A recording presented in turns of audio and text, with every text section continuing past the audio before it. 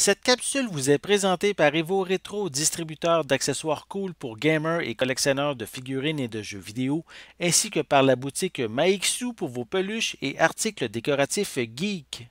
Bonjour à toutes et à tous, ici Maxime pour Ciné Techno et aujourd'hui je vais faire la critique du film History is Made at Night en copie Blu-ray.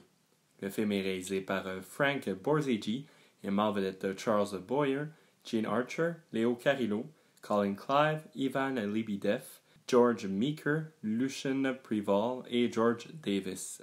Il est distribué par la collection Criterion et vous pouvez vous le procurer en magasin depuis le 13 avril 2021.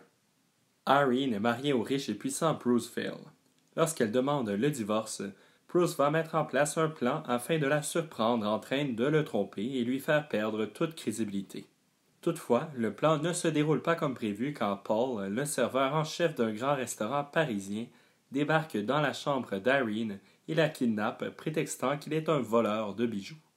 Criterion propose ici une restauration du film History is Made at Night, un film de 1937 avec dialogue en noir et blanc.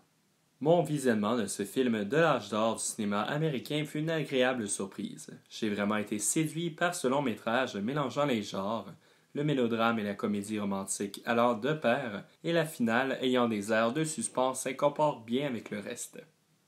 Les dialogues sont finement écrits, ce qui contribue à rendre le scénario passionnant. D'ailleurs, le public se sent rapidement investi dans cette histoire d'amour. Charles Boyer, qui est d'ailleurs un acteur français comme son accent le laisse croire, est un vrai charmeur. Il m'a également surpris avec ses talents de ventriloque lors de son premier souper avec Irene. Gene Archer va rapidement développer une belle chimie avec Charles Boyer. Le couple va certainement séduire le public, surtout la populaire Gene Archer, avec son regard et son sourire craquant.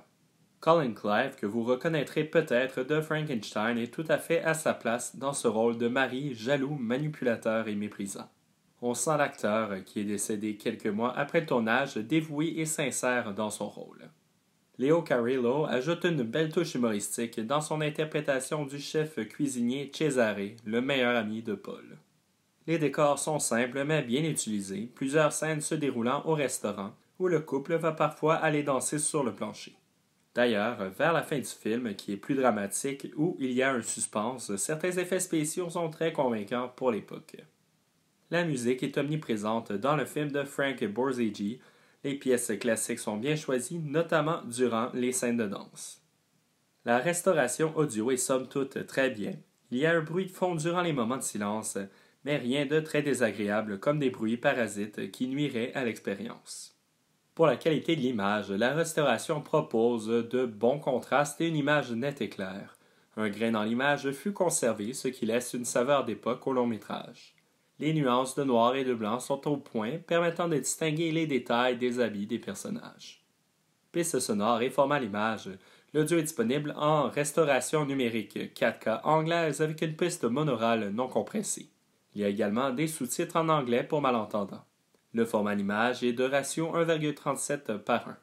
Pour les suppléments, commençons tout d'abord avec le dessin de la pochette qui est très joli. Il a des airs poétiques et met en valeur plusieurs éléments du film.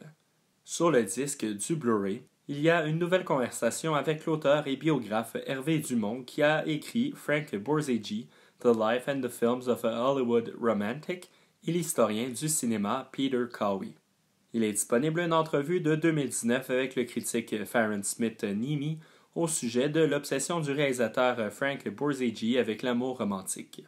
Il y a également des extraits audio d'une entrevue de 1958 avec Borzage provenant de la collection du George Eastman Museum. Il y a également l'adaptation radio du film datant de 1940 diffusée à l'époque par The Screen Guild Theatre et mettant en vedette Charles Boyer. Ceci est suivi d'une démonstration du processus de restauration. Et finalement, il y a un essai de Dan Callahan disponible dans le petit pamphlet du film. Pour conclure ma critique, History is Made at Night est un visionnement très agréable. Son long métrage romantique avec des touches de comédie et de drame est particulièrement charmant. J'ai trouvé le film très accessible pour un film datant de plus de 80 années, et les performances des acteurs sont vraiment excellentes. Ce Blu-ray est certainement un incontournable pour les amateurs de l'âge d'or du cinéma américain. C'était Maxime pour Ciné Techno. Merci beaucoup et surtout, bon visionnement.